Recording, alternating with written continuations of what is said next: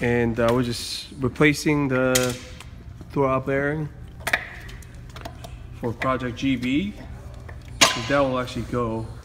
Like I mean, this one's still working condition, but just for the whoever's buying this one. Somebody on Craigslist is selling a, uh, a, a used slave cylinder for 60 bucks.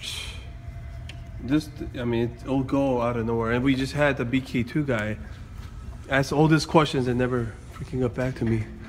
The guy from Jersey, you saw that? How much is it?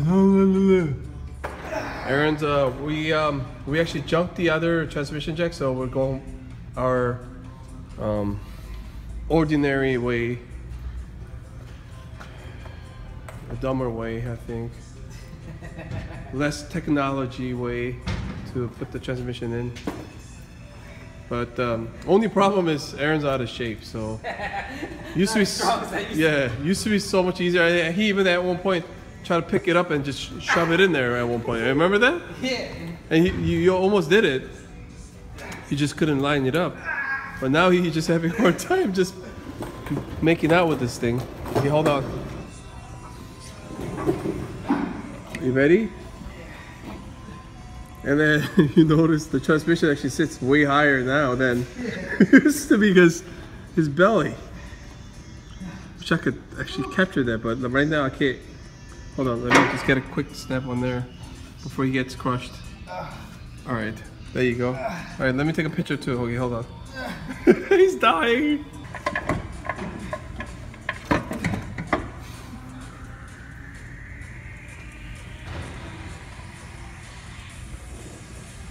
Did you align it? Correct. Did you align it? The clutch, yeah. Hmm. Who's this midget in here?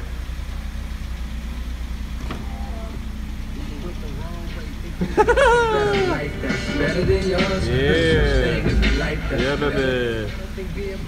All right, so she's alive. Nothing, you know, surprise about.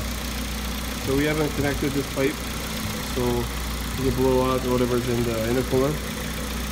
Um, so yeah, just uh, filling up the system, let it bubble out and everything. Oh, we need some more coolant.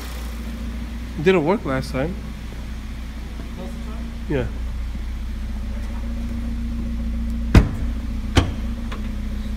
Try the gas cap. Maybe it's a fuse that popped. maybe? Yeah, probably the fuse. But trunk fixed itself. It didn't work. We, we need headlights. So she's alive. Project GB baby.